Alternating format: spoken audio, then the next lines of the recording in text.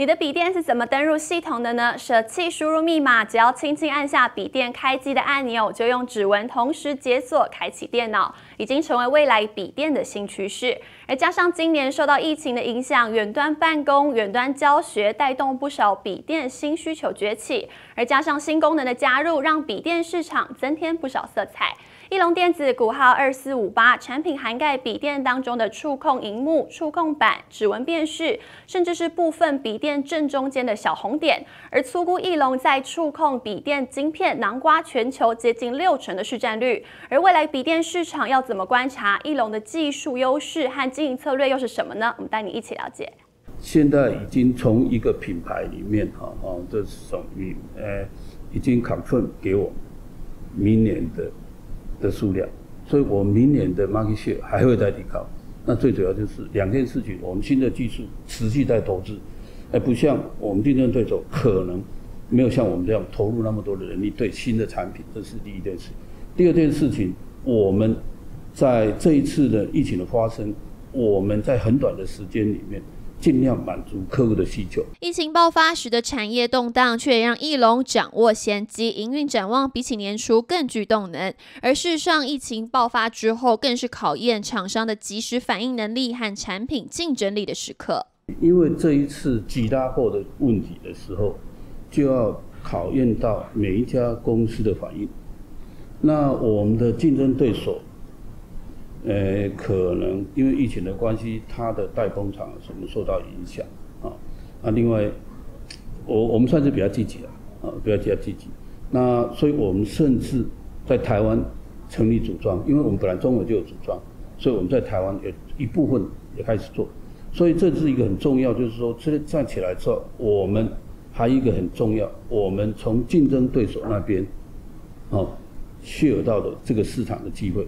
触控荧幕的需求受到远端需求提升之后，市场渗透率节节攀升，有机会从去年百分之二十一增加到百分之二十三以上。而当中代笔的需求更是呈现成长的态势。算了，你们现在讲这视讯会议的时候，你现在没有白板，以后用我们那支笔呢，就在荧幕上面就可以写。所以你的 PowerPoint 以前你用用用你的 cursor 这样子，你以后就直接笔上面写，你知道吗？所以笔的需求呢，因为这个 video conference 使得笔的需求比以前成长更快。翼龙在二零一八年打入微软的 Surface Go 机种，而今年再打入 Surface Go Two，有机会增加后续营运动能。因为我我们跟 Microsoft 合作，现在两个，一个是他跟他标准定标准的人，一个是他自己的 brand name，就是 Surface 这边。所以我们最大的好处是跟 Surface 合作的时候，它出来的时候。它的产品出来的时候，才也会开始 announce，所以有时候 Dell、HP 会会很吃味，说你自己定标准的人，你东西先出来，才把标准弄出来，你这，但是这是两个不同的利益嘛，所以因为这样，我们有一个好处，我们跟他一起在定规格，他的新的产品，以前呢，Microsoft 哈没有做像成品这样这么 focus 的时候。有时候你的笔的速度很快，但是送到 OS 那边会 delay 掉。但是这一次我们跟他一起讨论，他就开始注意到这件事情。为什么我画下来苹果的速度很快，我们的速度很慢？我说不是我的问题啊，是我上上去你在处理的时候 delay 或什么样类似的。所以大家就 up to date 以后，哎，我们把很多的问题克服掉。我们告诉他要怎么克服。那我们这一步呢，又做了比苹，老实讲，我们出了，我们是比苹果还有经验的处理那个方面。所以这次，所以你说呢？对我们是很满意，就是两件事情。第一个，第一代用我；第二代又持续用我，表示说你的功能是相对。而且我们这次出来是要跟苹果 PK 的，哈，是这样。至于在触控板方面，翼龙也提供整合度更高的模组方案，市占率有机会从去年百分之五十再往上提升。Chromebook 就是你打开电脑的时候，你用 WiFi 就直接通了，那随时可以 update 最新的 OS 或什么都可以，所以它很便宜，有些三百块美金就有。对，所以因为今年呢，这里特别多，有一部分是这个地方，但是对我来讲没有差，反正 TouchPad 你放在教育用的，在商业用的都一样，那价格都差不多。你在，所以我我喜欢冲量啊，不是喜欢冲 high 点的东西哦，这这是一个。很重要，就是说，因为教育的这个东西改，的的方式，线上教学啊什么这些改变了，所以使得这个需求很旺。指纹辨识产品方面，受到资安需求的提升，指纹辨识用于笔电的方案被市场肯定，而今年市场渗透率也有望再提升。Notebook 的话，现在因为 Windows 产楼，哦，已经慢慢在 promo，就是希望你是用指纹呢，或者用人脸。那老实说，人脸很不方便，尤其现在常常戴口罩啊什么那些，哦，这是不太灵光。那所以指纹的需求越来越高。哦，指纹的话，大概以前我们的 touchscreen 大概 penetration 率大概二十出头而已，但是指纹已经超过 pen 那个 touchscreen 的 penetration 率，你知道？那现在应该甚至三十以上。哦，所以这指纹第一个会成长。指在 notebook 里面分成两个，一个是靠原来的 CPU，我叫 match on host，这是 CPU；一个是在我们这边。我们有一个 DSP 把它除掉，叫做 m a t r o Chip，所以会有两个。那现在各家的策略不一样。哦，有一家美商连 Consumer 整个是 m a t r o Chip，哦 m a t r o Chip 单价就很高，就是五六块钱美金以上起跳。哦，那个东西因为除了 Sensor 之外，还有一个 DSP。另外，翼龙也发展出 3D 防假指纹的方案，能够更精准辨认指纹的真假，增加自安的维护。因为 Windows 厂楼有规定，有个 3D Anti-Spoof，3D Anti-Spoof 就是假指纹。你用假指纹去按一百次，你只能够有十次被闯过去，九十次要把它挡下来。但是大部分现在都是应该五十多线传过去了。现在市场上，包括苹果都被传过去了。如果用玉龙的走路去，你传不过去。哦，啊，这个方案呢，最近我们在 notebook 厂商已经准备开始出货。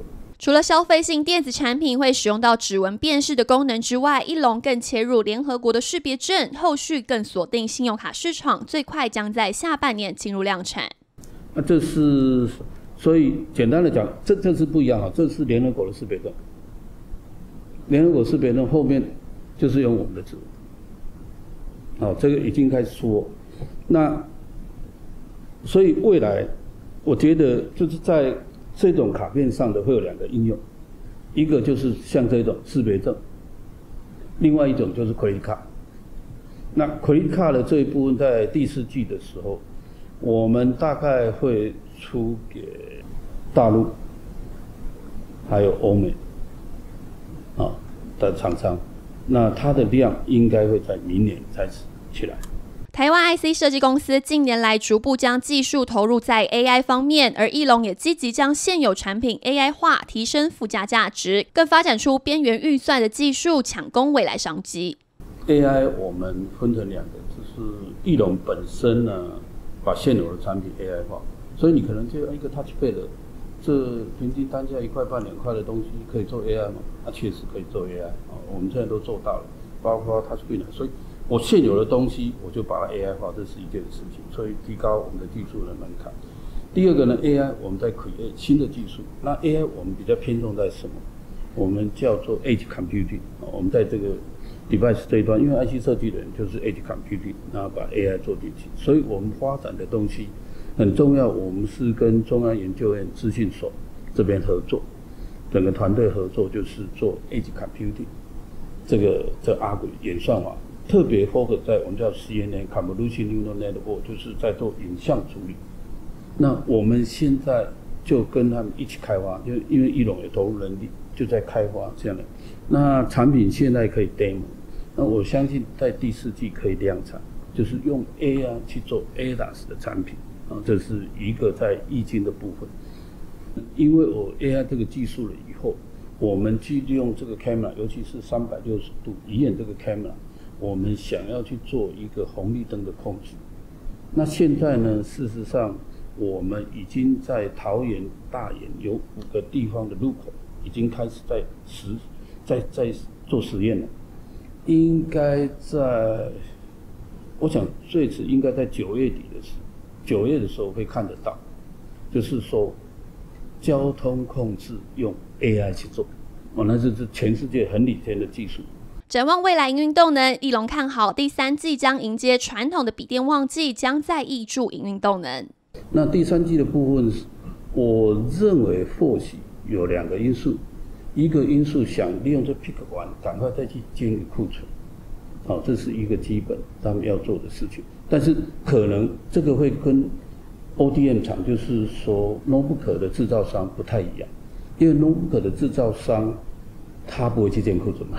对不对？因为他马上做这种，那我们是中二零件，所以有时候大家会觉得，哎，notebook 制造商跟我们之间的差异，最主要应该是在这。我认为，哈，那我们的库存被拉光了，所以现在第三季的订单，希望除了原有现在满足现在第二季不能交货的部分之外，看能不能开始建库存。第三季比我们想象中好，是这样的原因来的。好，那第四季呢？我们现在目前看起来就是说，因为今年疫情的关系，所以新的机种一直 delay，一直 delay，所以我们认为在第四季的时候，如果疫情比较平缓的时候，应该会有新的机种慢慢陆续出来。如果疫情还是第二次爆发的时候，会不会把第三季建的还甚至还建不满的库存又再来？这不知道，哦，现在就不知道。所以，所以用这样的原因看起来。